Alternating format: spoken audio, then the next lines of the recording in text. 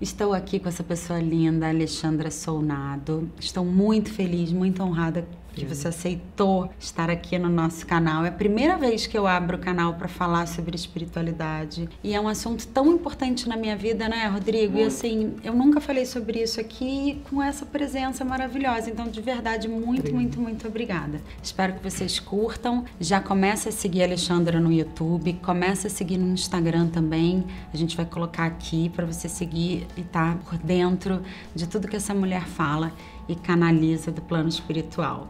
Queria que você falasse um pouquinho mais sobre o eu superior, que você já falou nos outros vídeos e você fala tanto no seu canal.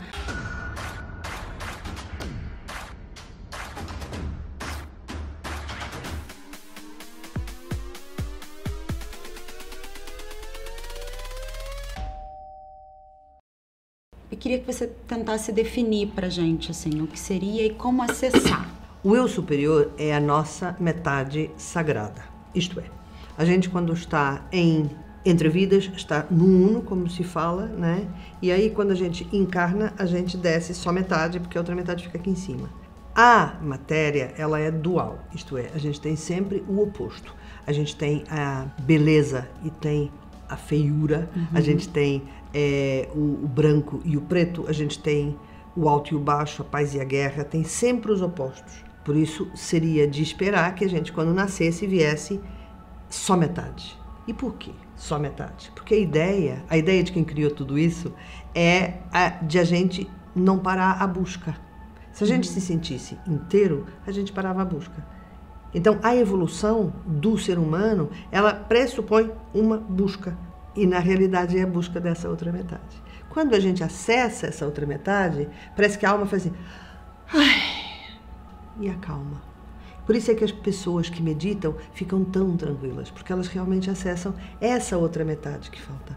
Tanto que Jesus fala muito da interação entre os mundos, entre o mundo visível e o mundo invisível. Ele fala: enquanto vocês não fizerem essa interação, vocês não são inteiros. Vocês não vão descansar, não vão parar a busca. Uhum. Então, o eu superior, nas meditações que eu faço, eu tenho um projeto chamado Flash Meditation. As Flash é teoria e cinco meditações. E uma das Flash é o eu superior. E tem uma meditação gratuita. Então a pessoa pode acessar e fazer essa meditação é, gratuita. E eu, quando eu dito a meditação, eu vou através de um símbolo que é o arco-íris. A pessoa sobe o arco-íris e ele está lá em cima esperando. Você pode perguntar para o superior tudo o que você quiser, tudo. Ele tem no registro dele, da gente, ele tem o nosso maior potencial. Então, por exemplo, imagina, ah, eu, eu faço, fico no meu emprego ou vou perguntas tão simples quanto esta. Fico no meu emprego ou vou para este novo emprego? Porque o, o ego, ele só consegue ver a curto prazo. Ele só consegue Sim. ver a satisfação imediata. Ele não consegue ver o que é evolutivo. E o eu superior, a função dele é ver o que é evolutivo. Então ele pode falar assim: fica nesse emprego. Aí eu falo: ah, mas esse emprego é muito ruim. Né? Fica. E aí você, se confiar, você fica. E um mês depois você conhece o amor da sua vida entendeu? Uhum. Então era para ficar só para conhecer o amor da sua vida, que no outro emprego não ia ter. Ou você conhece um sócio e abre a empresa dos seus sonhos. E então não era o outro emprego. Essa informação do eu superior, ela é incrível porque ela muda a tua vida, porque você deixa de fazer decisões, escolhas através do, da lógica do ego. Pensa, a lógica do ego, ela é dual. Tem os prós e os contras. A lógica do eu superior não é dual, é aquilo porque aquilo vai te levar para o teu maior potencial.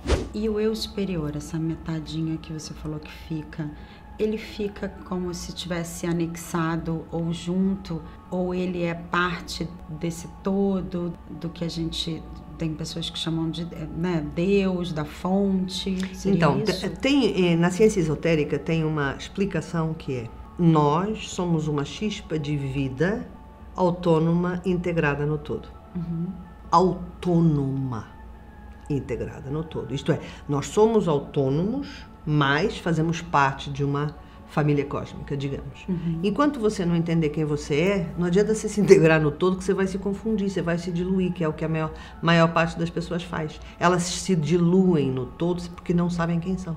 E aí você tem as menininhas que usam as mesmas roupas, o mesmo corte de cabelo, todo mundo igual, falando do mesmo tipo de... Porque eles não estão ide, É, o Jung tinha uma expressão que era individuar. Uhum. Não é individualizar, é individuar, que é você ser quem você é, você entender. Sim, o processo astrolo... de individuação. De individuação.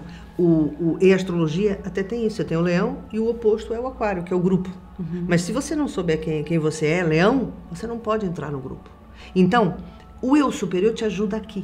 Te ajuda a você se individuar, a você saber quem você é, conhecer sua energia, conhecer sua essência, conhecer o que é teu nessa confusão toda, que eu acho que é talvez o que as pessoas mais precisam hoje em dia, saber do que que isso tudo, o que que sou eu, o que que é meu. E aquela pergunta que não quer calar, né, gente? Como é que a gente sabe que é o eu superior que está falando com a gente? Você não vai saber nunca. Mas você vai é. sentir. É. E o... Porque você está indo com a mente. Sempre que você fala como é que você sabe, você está indo com a sua dimensão mental. Olha só. É um processo de fé? Não, é, é um processo de aprender a sentir. Você sentir. sente que chegou em casa. Entendi. Você sente. Tem gente que fala assim: nossa, eu tinha uma saudade daquela energia. Parece que encaixa aqui. Nada disso é saber. Saber você não vai saber nunca. Saber é, é, é, é outra dimensão. Uhum. Tanto que há muita gente que fala assim: como é que eu faço para ser mais sutil, né? Porque eu ensino a sutileza, né? Uhum. Tem uma, um truque muito legal que é para de falar eu acho, começa a falar eu sinto. Hum, ah, o que, que você bom. acha de não sei o quê? Bom, eu sinto. Quando você fala eu sinto, faz assim. E é exatamente isso. Você não acha, você sente que é ele. E aí, quando você estiver lá, em vez de você ficar assim, será que é? Porque já te aconteceu de você estar tá meditando e começar a pensar muito e aquilo acaba tudo? Sim. Porque a dimensão mental destrói a meditação. Porque uhum. é outra dimensão. É como se colocasse outra dimensão dentro, da dentro daquela dimensão sutil. Se você vem com a tua emoção, você não destrói nada. Tipo, o que, que eu sinto? É isso? Não é? Quando você sente, aprende a sentir, aprende, aprende a sentir não, aprende a identificar o que você sente, você não vai, não vai nunca mais ser enganada por nada. Mas enquanto você achar. E só recapitulando, a gente começa a fazer esse treino, que é um treino através da meditação, que também é uma prática que precisa ser é, trabalhada. Né? Trabalhada. Como tudo, são os, os dois T's, tempo e treino, sempre. E você acha que o ego, né, aquela coisa de você estar tá recheado às vezes de medo, te atrapalha a ouvir? Como é que a gente faz essa quebra? Tem alguma? Tem uma coisa que ajuda muito, que é a entrega. Vou te dar um exemplo. Num avião, e aquilo começa a trepidar. Eu, eu, falo isso porque eu viajo muito e de vez em quando tem mesmo. Agora vai ter um período de trepidação. Aí, a primeira coisa que eu faço é entregar. Porque eu não tenho controle mesmo. Então eu entrego e o medo vai embora. Eu entrego o medo. Eu entrego o receio, eu entrego o controle, eu entrego tudo que há em mim que acha que pode resolver a situação. Porque o ego é isso. Sabe o que, que me parece o ego? Sabe aqueles cachorrinhos muito pequenininho que ladra pro, pro pastor alemão? Eu não sei o que eles acham que eles são. Sim. Eles ficam. O ego é isso. Ele, ele, ele late, né? Vocês falam late. Sim. Ele late para a vida. Incontrolável. Como se ele, como se ele fosse. É, como se ele controlasse tudo. Ele, ele fica. E a vida olha e fala: tá, fica aí. Então, você entrega isso, essa suposta necessidade de dominar a situação. E é curioso porque quanto mais você entrega, mais forte você vai ficando. Olha só, quando você entrega, olha as coisas que acontecem em você. Você passa a acreditar que é protegida. Você passa a confiar de que vai ser o que tiver que ser, mesmo se for a tua hora. Houve uma vez que eu estava no avião e aquilo começou a trepidar, mas a trepidar mesmo muito. Sim, aquela... Mesmo aquela vez, foi demais. Eu comecei a sentir a adrenalina das pessoas, um medo. Aquele avião ficou cheio de medo e eu fiz assim. E aí me preparei, se tiver que ser, vamos embora. Se for a minha hora, porque eu sei que se não for a minha hora, eu não vou. Uhum. Então eu confiei. Só que eu me preparei para ter a passagem mais tranquila do mundo. Porque eu sei que para onde eu vou depende da forma como eu morrer. Se eu morrer Isso densa, é um pesada, eu vou para um lugar muito chato. Então eu já estava me preparando ali. Se for para me levar, leva. E aí foi. E aí não aconteceu nada e eu fiquei tranquila. Eu queria falar, puxar um gancho para aquilo que a gente estava falando do karma. A gente estava conversando aqui num pequeno intervalinho sobre temas que eu quero falar, e sobre karma, e sobre memórias né, que a gente acessa. É, por exemplo, essa coisa do avião, Eu não sei, talvez porque tem a ver com essa memória infantil que você eu vou pedir que você explique depois num próximo vídeo para eles. É, o meu pai, ele tinha, eu desde pequena precisava pegar avião sozinha com aquela coisa, aquela sacolinha menor desacompanhada para visitar o meu pai, que se separou da minha mãe, eu era muito pequena. E o meu pai sempre colocou na minha cabeça que o avião era o meio de transporte mais seguro que tinha, que a probabilidade de um avião cair versus um carro, enfim, eu me acidentar era muito pequena, que dezenas, milhares de aviões transitavam o dia inteiro. Quanto você ouve falar que cai um avião aqui, é muito pontual. E eu tenho uma certeza, o avião pode virar de cabeça para baixo, que eu nunca vou morrer de acidente aéreo. Isso é uma certeza. Isso está ligado àquilo que a gente conversou sobre karma, é o meu ego. Isso é o quê? Olha só, tem uma confusão muito grande entre a palavra premonição e a palavra memória. Tem muitas pessoas que têm medo de uma coisa e acham que estão tendo uma premonição. Uhum. E não que elas têm uma memória de vida passada que já aconteceu. Então, tipo assim, ah, eu vou perder minha filha, tenho medo de perder minha filha, tenho medo de perder minha filha, tenho medo de perder. Não, você já perdeu sua filha.